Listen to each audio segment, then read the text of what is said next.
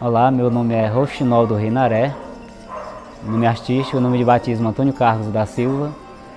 Nasci em Quixadá, Ceará, moro em Fortaleza. O meu nome é Júlia Oliveira, eu tenho 29 anos, sou de Fortaleza, Ceará. Participei de uma mesa fantástica, né, falando de literatura de cordel, educação, leitura, ativismo feminino, com Júlia Oliveira, Sabiá, Canuto, Keiane. Tem sido momentos maravilhosos, assim, uma energia muito boa, né, da região que eu não conhecia.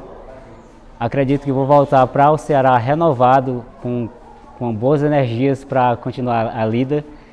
E a mesa em si foi, foi maravilhoso, falamos dessa importância da literatura de cordel na educação, falamos um pouco da nossa trajetória. Foi tudo muito intenso, muito potente né, e emocionante a gente estar tá retomando esses olhos nos olhos agora, longe das telas, né? E agora voltar para esse lugar, né?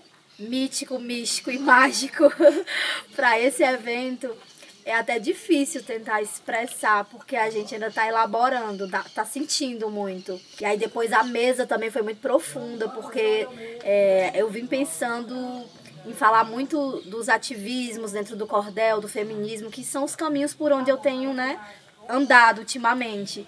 Mas foi muito mais do que isso, né? além de falar de tudo isso e das mulheres que estão comigo, porque sempre que eu estou em qualquer lugar, eu não estou só. Quando a Julie está aqui, tá a Isabel, tá a Anne Caroline, tá a Daniela Bento, tá a Paula Torres, tá a Josine Lacerda. Estão todas as mulheres do cordel, porque onde uma está, todas estão.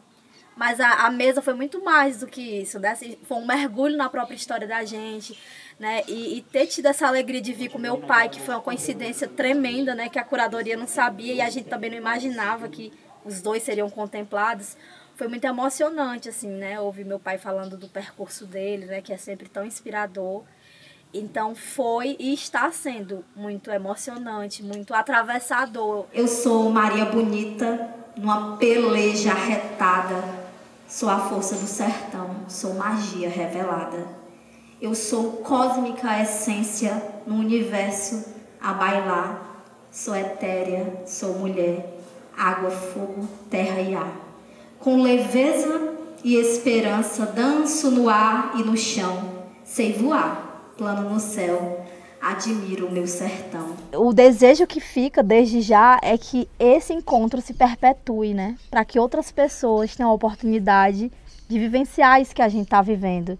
E quem sabe a gente também possa em outros momentos estar tá vivendo de novo essa energia com outras pessoas e se conectando com artistas tão incríveis né, do país inteiro, que isso é a riqueza, esses encontros e reencontros, né? Pra gente que acredita, é sempre um reencontro, né?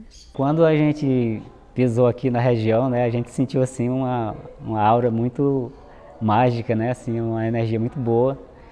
E aí veio a inspiração, a gente fez umas duas estrofezinhas assim para não deixar passar em branco, né, essa, esse fluido, né, tão bom que a gente sentiu. E aí eu fiz, eu disse, estou numa região de encantos verdadeiros. Cá na vila de São Jorge, símbolo dos santos guerreiros, sim, estou na deslumbrante chapada dos veadeiros.